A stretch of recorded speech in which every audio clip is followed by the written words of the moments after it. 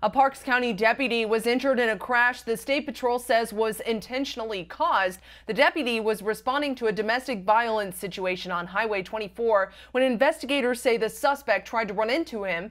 He avoided it the first time, but they say the suspect hit his vehicle at more than 100 miles per hour the next time. The deputy suffered a broken leg, broken arm, and severe bruising, but is recovering right now. Katie Johnston covering Colorado first.